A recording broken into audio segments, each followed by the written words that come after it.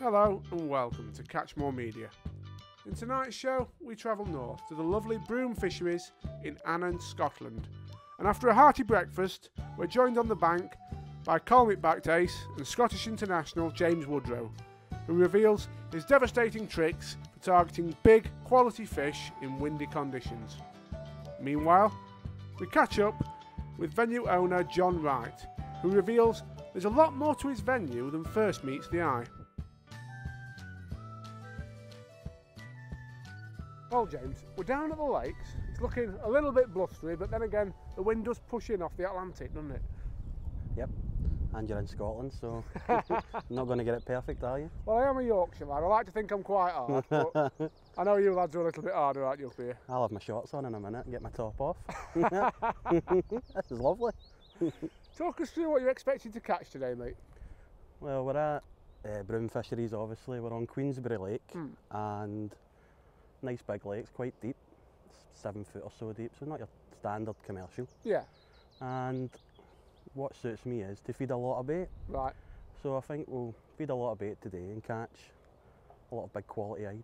That sounds alright, doesn't it? Lovely, lovely big ide. Might catch the odd carp, the odd skimmer, but mainly we'll try and catch some lovely big ide. It's ide we're after, is it? Ide we're after. Lovely. So there's ide in here, there's carp in here, there's, there's skimmers in here as well. There's a bit of everything. It's a nice big mixed fishery. You know, it's not carp or bust. You know, you can win matches and have a lovely day's fishing, catching roach and skimmers and ide. So hopefully catch a lot of silverfish, maybe the odd carp later on. Sounds really nice. James, I just want to talk very briefly about fishing here in Scotland because I think a lot of people further south don't understand just how difficult it is for you guys to find a decent sized match. Yeah, well, we spoke over breakfast, didn't we? Just how much travelling we do in Scotland. Nice breakfast, by the way. Tatty, what, with tatty scones and haggis. Oh, lovely. A full Scottish, none of your full English nonsense. so, even today, we came here. This is quite, you know, where I fish quite a lot. Yeah. And it's still a 90 mile drive for me. Because you're just north of, of, of Glasgow. I'm just you? north of Glasgow, and we're here, we're, we're in Annan, which is near the border of, of Scotland and England. So it's still a 90 mile drive for me. And to get a lot of matches, really good matches, catch a lot of fish. I travel to England a lot. I'm going to say you fish our series on the canal, don't you, on Yeah, Thorne? yeah, which Um, is nearly four hours for me. So I think nothing of it. Whereas you, that's a lot of driving. I think nothing of it to travel to Yorkshire and, and England quite regular. So I do that because the, the fishing in Scotland, there's not loads of match anglers, Yeah, and also there's only a few fisheries.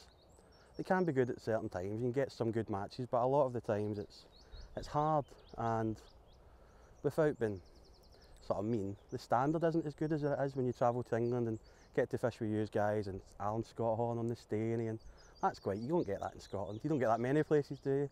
I must say, I'm not blowing your trumpet, but you, James Dornham, David Corcoran, the lads who've come down and put the time in on the Stanley, you've done really well, haven't you? You picked up some money, you know. Aye. Uh, Davey was uh, framed, didn't he, in the, in the final qualifier, I think, you know. So Yeah. it's been, Well, that I suppose is a, a, a lot of effort it takes, you know, and putting all those miles in. It does make it worthwhile when you, you get to framing a match, you pick up a section here and there. It, it makes it all worthwhile, and you can feel your ability coming on. And the more you do that and fish against top anglers and catch a lot of fish, you can, when you get a result like that, framing in matches and winning sections, it, it makes it all worthwhile. All that travelling, all those miles on your car, it, it doesn't seem so hard. I must admit, me and Matt are a bit soft sometimes. We were, we, all, we were saying to each other on the, on the drive up to the uh, up to the final, like, we really wanted one of us two to win it. But if we didn't win it, we Yeah. wanted one of you to win it, just because of the effort. That's quite nice of you to say. Um, aye, I think Bream showed in that match, didn't they? And Yeah. it was all right. Definitely. Well, we're in your territory now. We're on your water. Let's see how you get on, shall we? Yeah, let's do. Right, Tom, I'm all set up. Let me just show you my, my rig for today. Nice simple approach. So, like I said, we've got seven or eight foot here, and quite a positive approach. Like I say, quite rough and ready.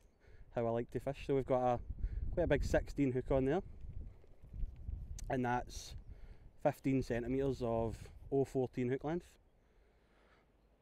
Nice simple shotting pattern. We've got three number 10 droppers there and a bulk an olivette and all that's on 016 mainline so like I say quite positive quite aggressive I suppose how I like to fish and we've got a a one gram float there That's a Colmic Maturo Passant, and it's a line through the body, which uh, I quite like. It's quite robust and reliable, doesn't let you down. Wire stem, nice and stable. And then, like I said in the introduction, looking to catch a bit of everything. So we've got a nice soft, hollow elastic there, which will catch catch everything really, even little roach up to to carp that we might hook, skimmers, ide, everything. So it's a nice kind of all-round setup, if you like. Right, Tom. Well, you've seen my rig. Nice, simple approach. My bait reflects that as well. Nice and simple. I've got. I'm going to fish. I'm going to have two lines. And one of these lines, you see some fish meal ground bait, really smelly, quite over wetted fish meal ground bait.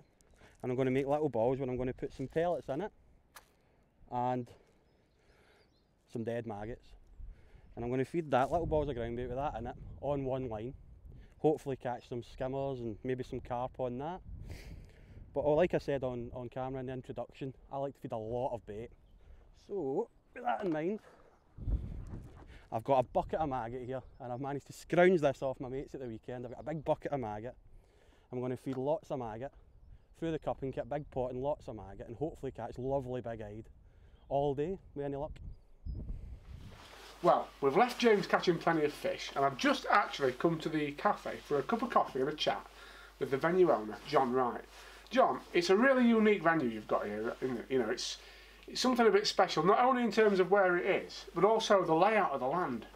Yeah, it's uh, it's an old ex-MOD site, so it's very flat Yeah, and quite unique in this part of the world. Like, isn't it? There's bunkers and all sorts. Yeah, it's uh, it's pretty much uh, as the MOD left it. It is a site of special scientific interest now, so we're limited to what we can and can't do. Is it? What's that Yeah, for then? it's for natterjack toads basically, and amphibians of all kinds. know. Right. But we work quite closely with SNH, who's Scottish Natural Heritage, and they uh, they let us do pretty much what we want to do because the two run hand in glove. You know, they want clean water, we want clean water, so on and so on. So, yeah, it's uh, it's quite unique as well because there's not many coarse fisheries in in Scotland. So No. Of course not. that's uh, that's that's the size of it. Yeah. You're in a fortunate position now, I think, aren't you? Because although you are in Scotland, you're still within a reasonable distance of northern English towns like Carlisle, even sort of Lancaster, that sort of area. Yeah. So you get a lot of English anglers as well. We're probably two hours from anywhere really, if the truth be told. You know, Preston, Morecambe, Lancaster.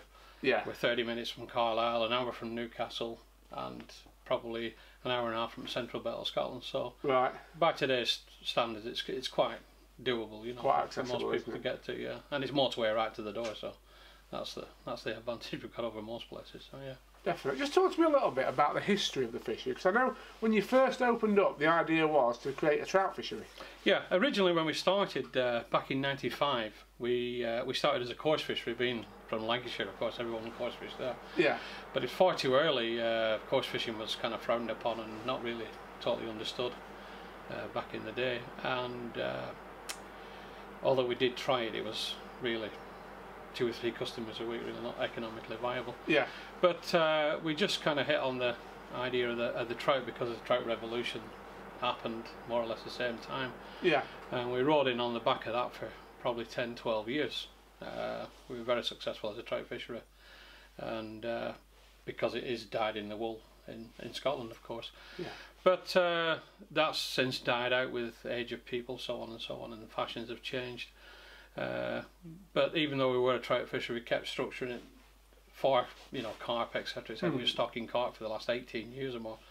So consequently, now we've turned over to coarse fishing. We, we've got an 18 year jump Mm. on many many people. So it's uh, although it hasn't been a coarse fishery for 20 years technically, the fish have been there for some 20 years. So yeah, it's uh, not uncommon to catch you know 10, 12, 30 pound fish a year. It's certainly apparent it's a mature venue. I mean, there's some, Yeah. some big specimens and the big ide, some big bream. I mean, right. um, Yeah, is catching some lovely fish out there. Yeah, we've got fish uh, specimens of, of all tench. So the fishery record's seven one for tench, four two for perch. Mm.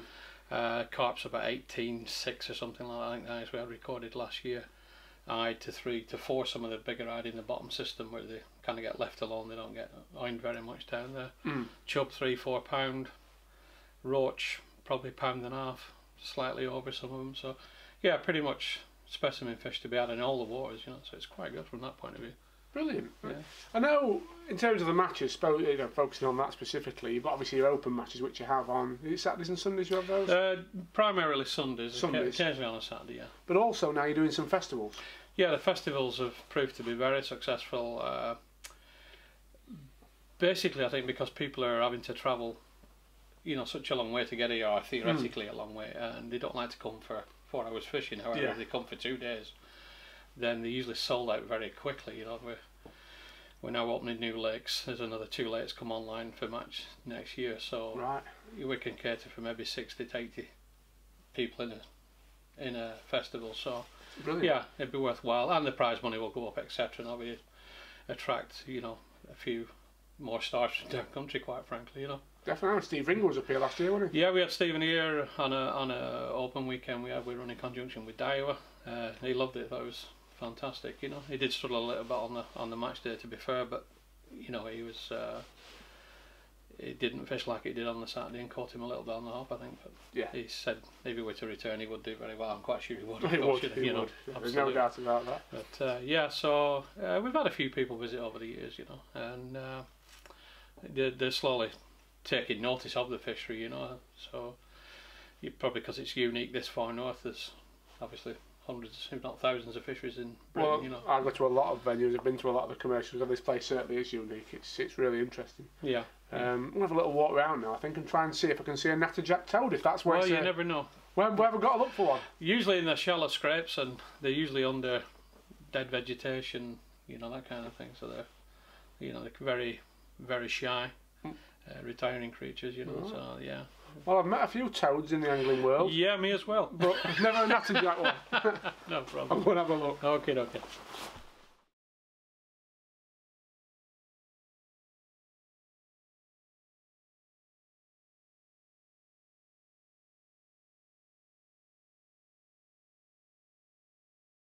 Here we go, Tom. That another ride now, is it?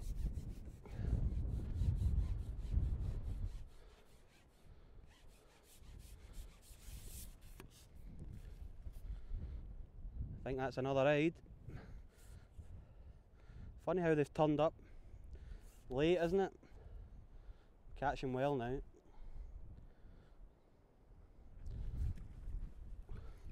Oh, it might be a chub. Oh, look at him. Look at him. Lovely big chub that.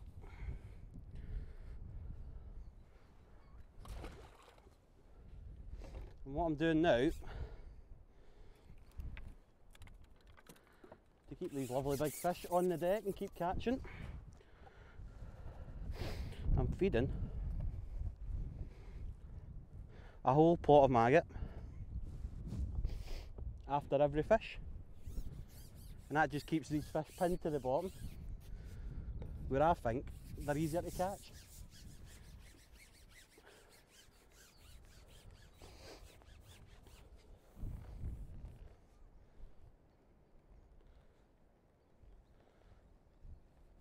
Big pot of maggot, straight in.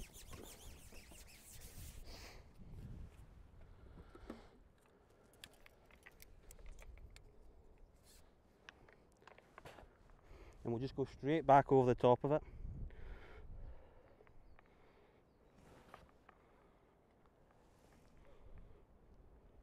With a nice big bait, three maggots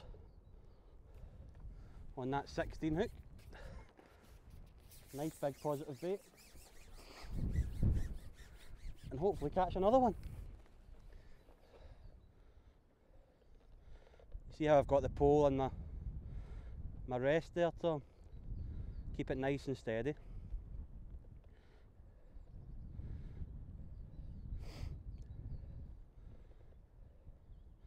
And then wait for a bite.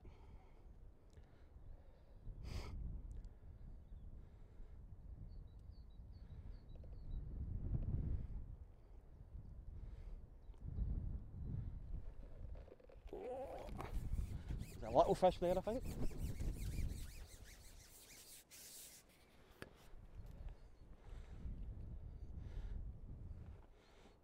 little skimmer. Still catch odd one of them. Mainly getting big fish now. All that positive feeding. Those small fish are becoming less and less.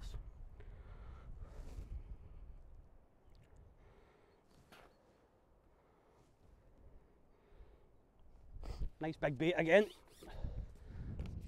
Hopefully get a big fish this time.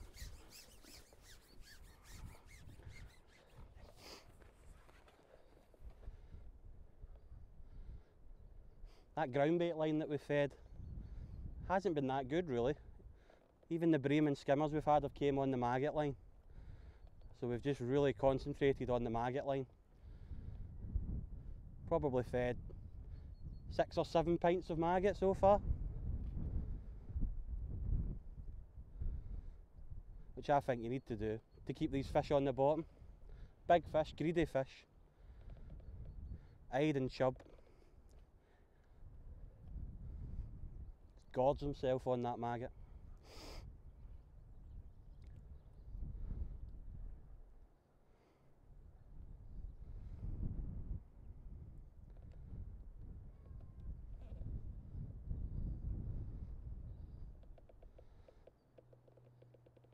Missing an odd bite. I think you get that with that volume of bait and a lot of fish there.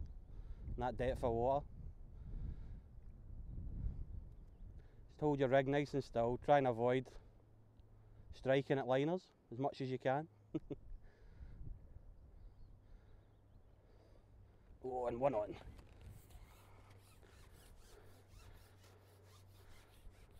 Hopefully another big chub or a big ide.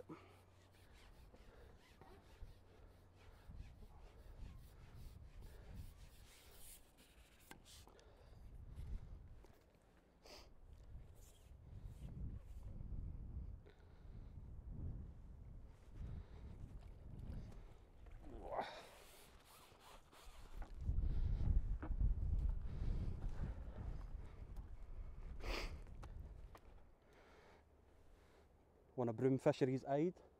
Lovely fish. Real weight builders.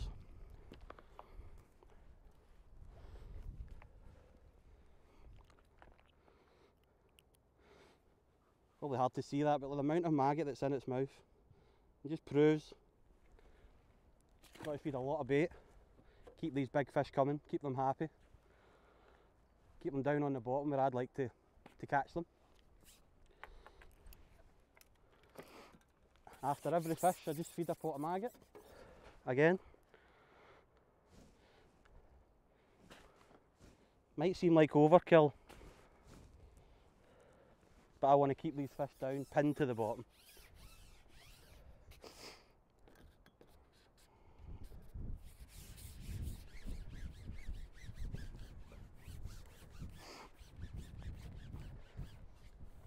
Hard work with the wind, but grin and bear it. Get it in, big pot of maggot.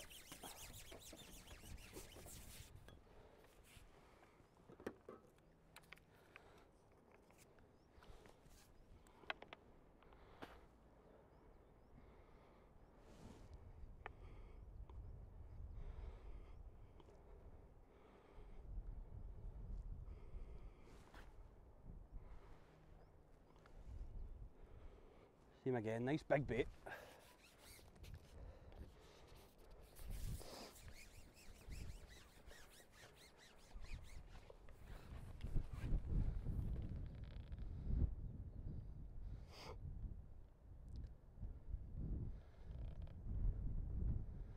That rig right over all those maggots. Hold it nice and still. And hopefully another big fish.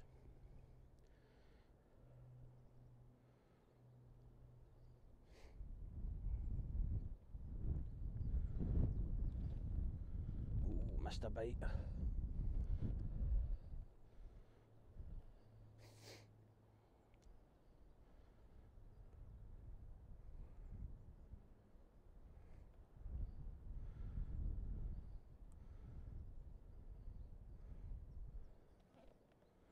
Fish on. What we got this time?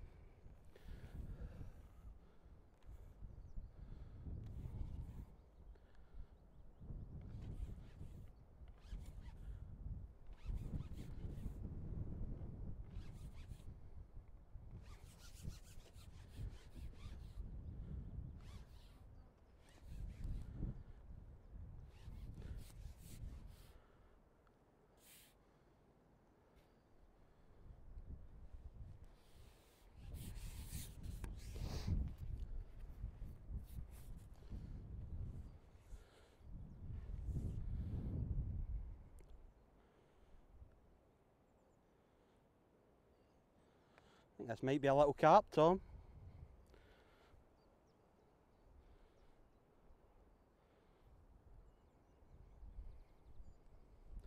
Taking a liking to all those maggots.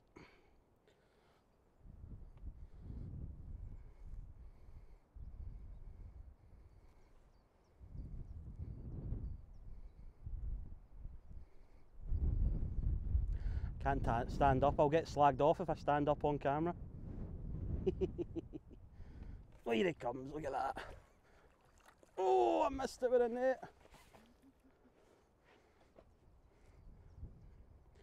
Go Go Gadget Arms.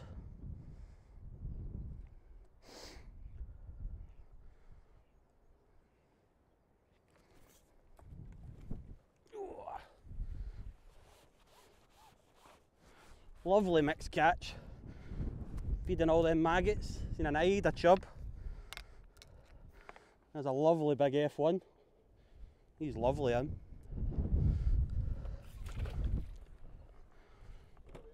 Well, James, what absolutely fantastic day's fishing we've had. Yeah, it's been great. Started off with those small fish, but it's came good in the end, hasn't it? I think what's so interesting to me about how you fished today and why it's probably been such a great video is you've kept it dead simple. You've literally fished one rig, one line, fed it positively with one bait pretty much. I know you put some ground bait in, but that didn't really work, did it? No, it's not worked. We caught some small fish at the start, but we've, we've stopped putting the ground bait in. We've concentrated on maggot and made those big, lovely big fish come to us, really. Definitely. I mean, in a match situation, I think that would be a particularly good tactic because you're never going to get behind on it, are you? You know, you're always putting something in the net and just taking whatever comes along. I think in a match, I would have kept the ground bait going in and gave me somewhere else to go. Right, okay. But uh, but today, those big fish just wanted more and more maggot. So I could get away with, in a, in a day like today on my own, I could get away with stopping the ground bait and just keeping the maggot going in on that one line. I mean- think in a match, I'd have definitely kept another line so I could have went somewhere. Go. you've had Perhaps. probably three three pound. You had chub to probably a similar size. Skimmers to over three pound, and, and carp. You know, don't get much better in terms of a mixed bag, does it? Not many we haven't had. We've ticked most boxes, haven't we? We have, we have. Now, did you or did you not promise me earlier a haggis curry? Well, I think so. Yeah? We had haggis for breakfast. Yeah. Got some fish in between. Yeah. I think we should finish the day with a haggis curry. Come on, let's do it. To our amazement, the local Indian restaurant didn't sell haggis curry, but they did sell haggis pakoras, which are every bit as nice as they sound. Join us later in the week for the second part of our Scottish adventure, when Jordan and I travel to the Daiwa Sports Factory in Wishaw, where we were treated to a glimpse of their excellent pole manufacturing facilities.